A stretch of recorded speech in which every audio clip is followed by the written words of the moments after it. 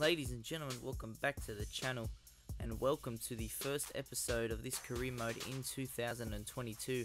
I hope you all had a very Merry Christmas and a Happy New Year, but we are finally back with some Manly career mode as we will be taking on the Warriors here in round 17.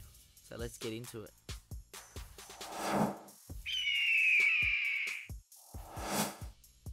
Our lineup is unchanged from last round against Cronulla after we had our dominant win over the Sharks. I thought best not to change what's working, so we, we are going with the same lineup as we do kick off. So the Warriors will bring it up through the middle to start this game. A lot of potential for the Warriors in 2022. It's exciting to see Shaun Johnson return to the Warriors.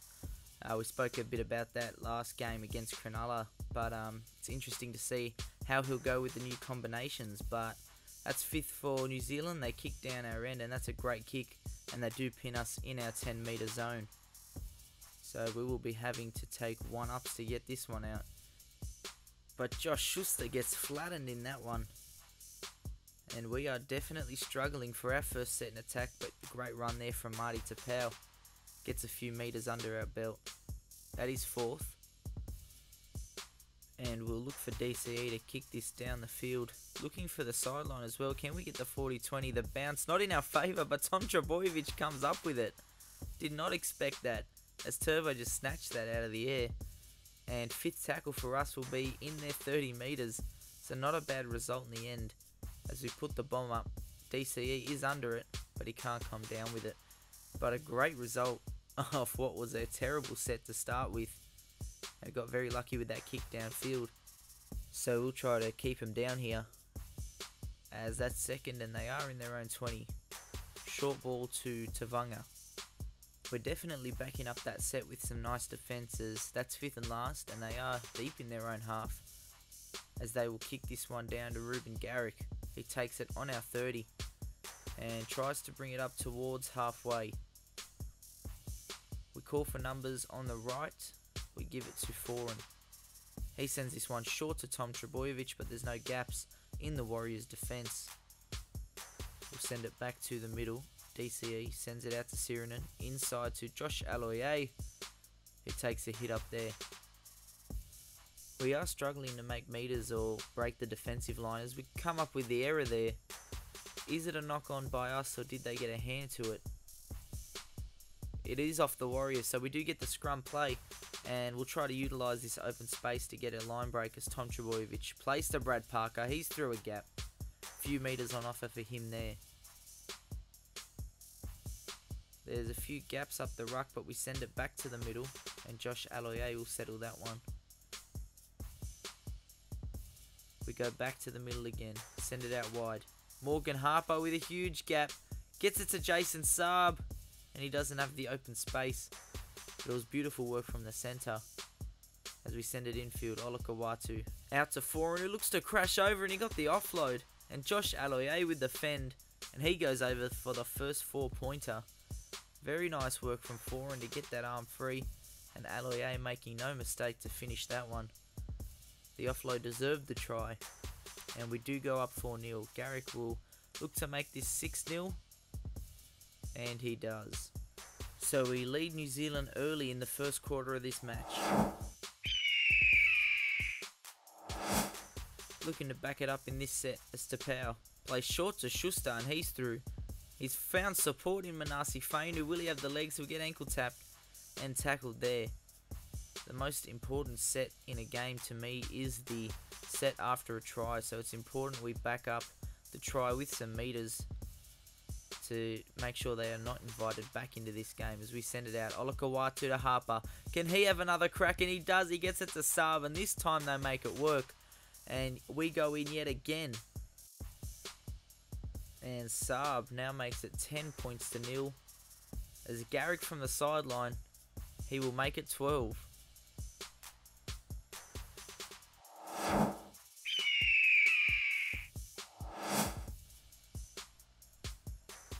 Schuster with the ball. Off a standing start, sends it wide to Parker, looking for a gap, but he's tackled behind the 40. We've got numbers on the left, as that's where we'll go. We send it out somehow to Garrick. I think it was touched there by a New Zealand Warrior again, as we do get a scrum yet again, just like that play earlier. But let's see what we can do off of it as Foran. Switch play to Parker, and he's through, but he's ankle tapped, and he's tackled there over the 50. With the ball, sends it wide to Kepi, gets it out to DCE, and he takes the tackle.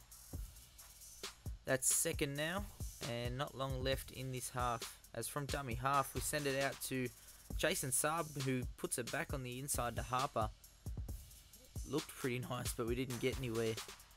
As we look to send this back to the left, up the middle goes Paseka, and he settles it right in the middle of the posts.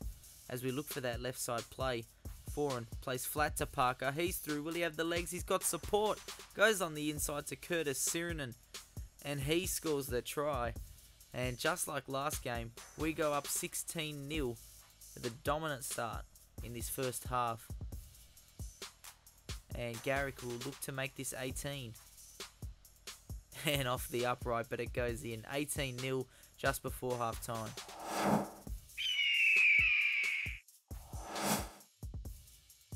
Do we have anything left in the tank before the siren goes? As Harper makes another break, trying to go back to back like Manly did so many times in 2021. As Saab with the ball gets offended, there's nobody in front of him. No one will catch Jason Saab, and he will go straight under the post, and we hit again to go 22 points to nil. We go back to back before half time, and that one will hurt the Warriors, as they will be four converted tries behind in a minute as Garrick makes this 24 points to nil. That is half time, and that has been a convincing performance from the boys as we go in 24 points to nil. There's not much to improve on other than keeping the momentum, so we'll try to keep them scoreless in the second half. So obviously happy with the 24 points, but the aim is to keep them to nil as defence has been a problem at times this season. So we are going to do our best to obviously score some more points, but yeah, keep them on nil as we send it out to Olakau'atu, and he takes this one on the 20 metre line. We call for DCE to send it wide to four, and the halves link up, but he's tackled there. We go short side as Cust looking for Parker, but it's deflected off a warrior and they will get the ball. So not the way to back up a brilliant first half as we turn the ball over to them.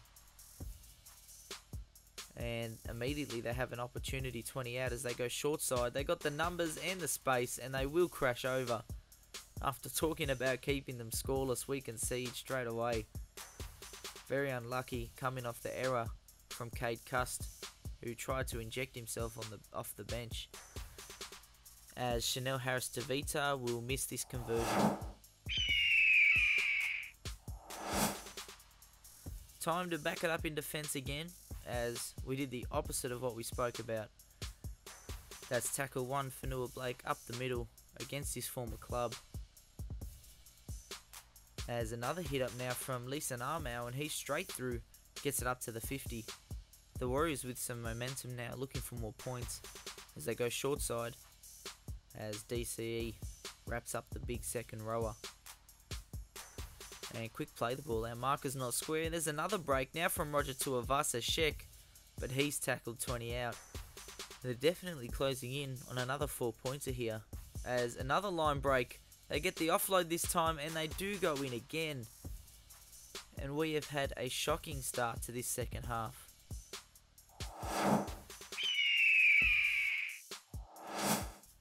The Warriors finding a second win in this second half as they send it again to Roger Tuivasa-Sheck and his through goes right around Tommy Turbo. Are they going in for a third? No, he is tackled. Dangerous signs here from the Warriors and our defence just crumbling. But that is fifth and last. Can we hold them out? Some desperation defence now as they send it to Chanel Harris Tavita who puts the bomb up. They do come down with it they break a tackle, but they won't break two, and we will get the ball back finally, after all that defending. Paseka now tries to get a line bust, but he's tackled. As we send it to Kepi. He gets a bump straight through the line. Roger Tuivasa-Sheck has to come up to make the tackle. As we'll send this one to DCE. He'll play switch play to Paseka out to Sironen, and he can't get it off to Parker. And that is tackle three. We go back inside to Kepi, off to Fainu. He takes one right up the middle. We send this one to DCE. He gets it to Olakau'atu. He's through a gap. Doesn't have much support, but that is a high tackle. And we'll get some easy meters off of that penalty as DCE will look for touch. And we are closing in on some more points. DCE with the ball. Sends this out to Cust. He's straight through. Huge gap. Can't make it to the line though. As Foran sends this one wide to Sironen. He can't crash over. Working from close out here as we send it left. Beautiful hands and Reuben Garrick will go in the corner. Beautiful quick hands from Taniela Paseka. And Garrick will go in for our first four pointer of the second half. And we do hit back and try to cut their momentum as we convert it to six points.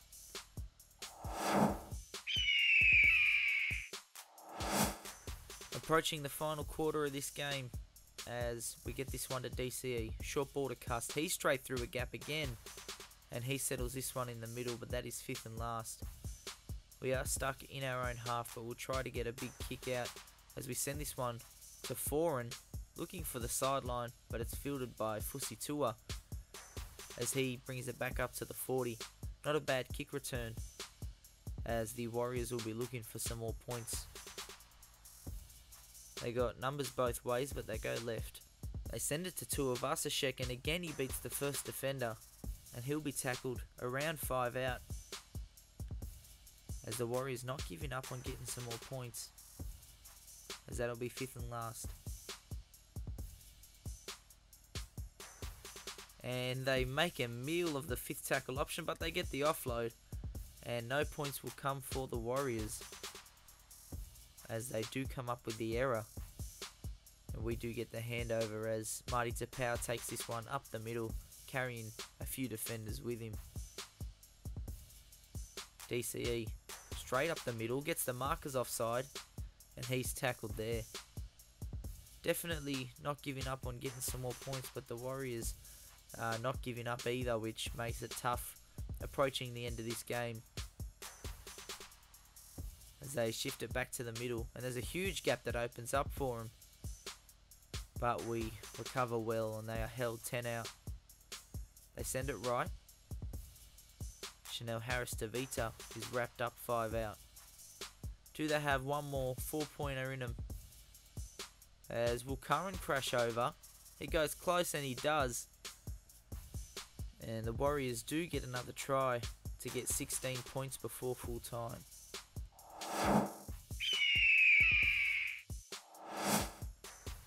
Siren about to sound here in the end of this game, as this will be the Warriors' last chance for some more points. Another consolation try, perhaps. As they put the kick down to Tommy Turbo, what can he do off the kick return? As we look for some space, he gets the fend off a one, puts it on the inside for Fainu, and that might be the game. And that is full time as we do get another convincing win. Ladies and gentlemen, if you are enjoying the series so far, be sure to subscribe to the channel and stay tuned for round 18. We'll see you then.